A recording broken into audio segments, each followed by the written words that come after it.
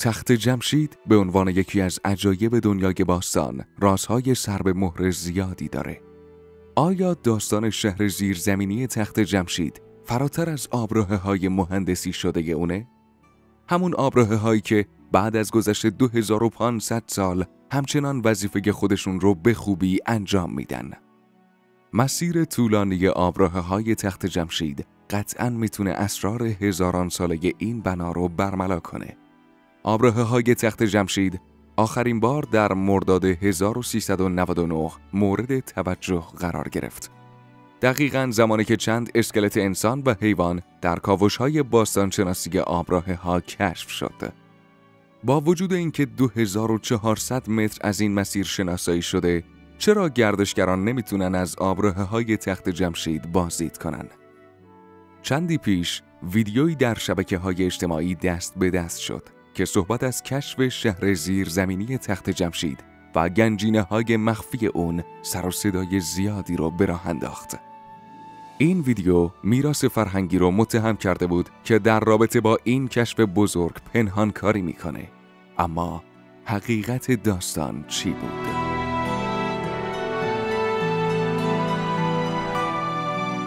سلام به کانال موجی شو خیلی خوش اومدید. توی این ویدیو به سراغ معمای پشت پرده شهر زیرزمینی تخت جمشید رفتیم. پس حتما تا آخر این ویدیو همراه ما باشید. اما قبلش زیر همین ویدیو عضو کانال ما بشید و با زدن دکمه زنگوله اول از همه از ویدیوهای جدید ما مطلع بشید.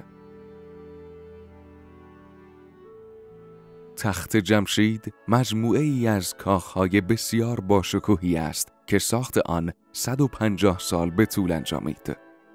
معماران این پروژه عظیم محوطه وسیعی را انتخاب کرده بودند که از یک طرف به کوه رحمت و از طرف دیگر به مرو دشت محدود می شد. دستور ساخت کاخ عظیم هخامنشیان را داریوش اول سومین پادشاه این سلسله صادر کرد. مراحل ساخت ها و مجسمه های تخت جمشید زمان زیادی طول کشید و این مجموعه در دوره های پادشاهان بعدی کامل شد. بناها و کاخهای زیبا روی هایی ساخته شدند که قسمتی از آن به صورت های یک پارچه بود و در بعضی از ها کوه را برای ساخت محوت تراشیده بودند.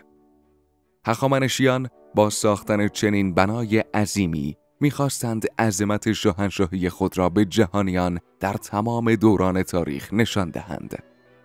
اما یکی از شگفتی های مهندسی در تخت جمشید شبکه آبراهه آن است.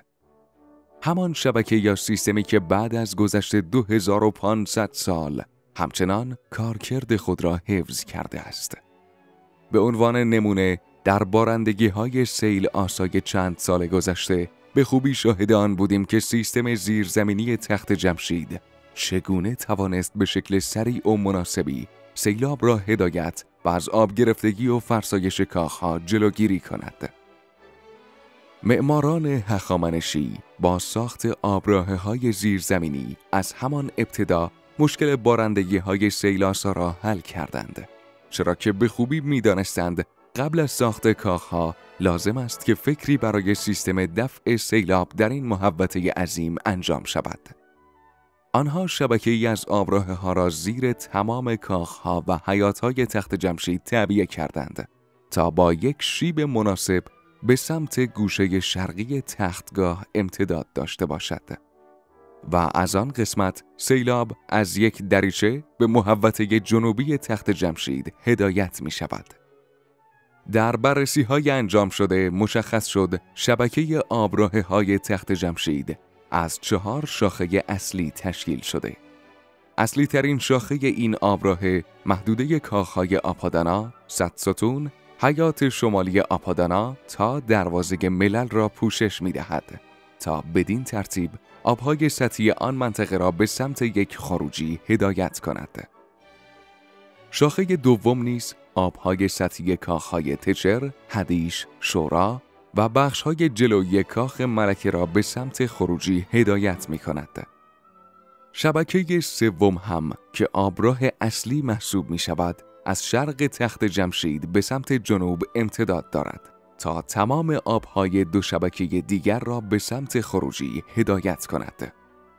یک شبکه دیگر نیز مختص بنای خزانه است که اصلی ترین شبکه تختگاه است. در مجموع اینطور می توان نتیجه گرفت که همه این شبکه ها یک کل واحد را تشکیل می دادند. این در حالی است که معماران هخامنشی از همان ابتدا می دانستند کاخهایی که ساخته می شوند کجا قرار می گیرند. در واقع می توان این گونه بیان کرد که معماری و پلانهای کاخها با توجه به مسیر آبراه ها از همان ابتدا مشخص بوده است. چرا که شبکه زیرزمینی تخت جمشید شبکه ای کاملا منسجم و به هم پیوسته است که طراحی آن در همان دوره های ابتدایی ساخت این مجموعه عظیم شکل گرفته است.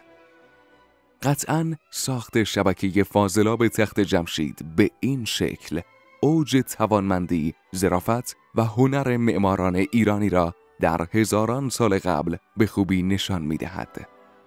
شبکه زیرزمینی تخت جمشید تا زمان حمله اسکندر وظیفه خود را به خوبی انجام می‌داد. اما با ویرانی کاخها و دیواره های خشتی که بخش عمده بنا را تشکیل می‌داد، آوار تخریب شده در نخستین بارندگی ها وارد آبراه شد و به تدریج در مدت دو تا سه سال شبکه آبرسانی تخت جمشید پر از آوار شد.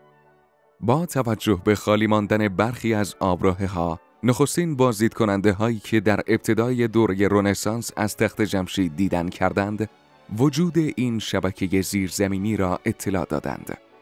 یکی از بهترین توصیف های اولیه از این سیستم را ژان شاردن جهانگرد فرانسوی ارائه داد. توصیف شاردن از آبراه های تخت جمشید به دوره صفویه برمیگردد. اما نخستین قدم های اصلی و علمی برای کاوش آبراه ها مربوط به سال 1310 و سالهای پس از آن است. یعنی زمانی که اشمیت و هرتسفلد اولین کاوشگران تخت جمشید بخشی از آبراه را کاوش کردند. اشمیت طرح کامل شبکه آبراه های تخت جمشید را در کتاب پرس پلیس دو نشان داد. پس از آن دو باستانشناس ایرانی یعنی علی سامی و علی حاکمی و برخی دیگر از مدیران وقت تخت جمشید کاوش های آبراه ها را ادامه دادند. تا به امروز 2400 متر از این مسیر توسط تیم کاوش آبراه های تخت جمشید شناسایی شده. این مسیر تقریبا زیر همه کاخها و فضاهای مختلف تخت جمشید را شامل می شود. گاهی اوقات ارتفاع آبراه ها در برخی از نقاط به 6 متر می رسد و پهنای آن بین 50 تا 80 سانتی متر متغیر است. در زمان کاوش حدود شش اسکلت انسان و یک اسکلت حیوان در آبراه های زیرزمینی تخت جمشید پیدا شد. در پایان فصل پنجم کاوش ها نیز کاوشگران موفق شدند تعداد بسیاری قطعه سنگی حاوی نقش برجسته و چند کتیبه را در تونل های زیرزمینی و آبراه های کاخ تشر کشف کنند. در رابطه با تختگاه میراث جهانی پارسه ویدیویی در شبکه های اجتماعی دست به دست می شد که در آن میراث فرهنگی را به پنهانکاری در رابطه با کشف گنج مخفی در زیر زمین تخت جمشید متهم می کرد.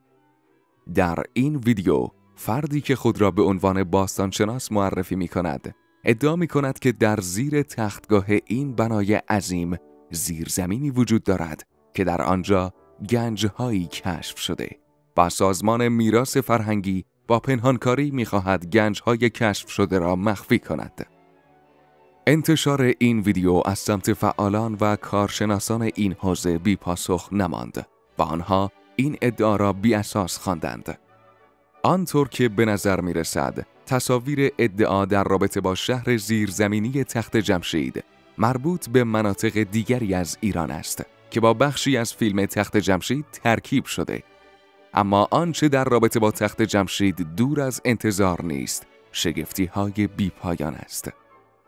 بر اساس آخرین خبرها با وجود آن که بازدید عموم از آبراه های تخت جمشید چندان سال است که مطرح شده تا کنون امکان بازدید از این مسیر مهندسی شده بنای باستانی ایران فراهم نشده است. برای تحقق این امر کارشناسان اعلام کردند تا زمانی که کاوش ها تکمیل نشده است شرایط بازدید از این مسیر وجود ندارد ضمن اینکه به دلیل باریک بودن مسیر رفت آمد در این مکان دشوار است و بازدید از آبراه ها به صورت رفت و برگشت امکان پذیر نیست. خب دوستان عزیز مرسی از اینکه تا آخر این ویدیو همراه ما بودید. اگر خوشتون اومد لایک کنید و نظراتتون رو با ما به اشتراک بذارید.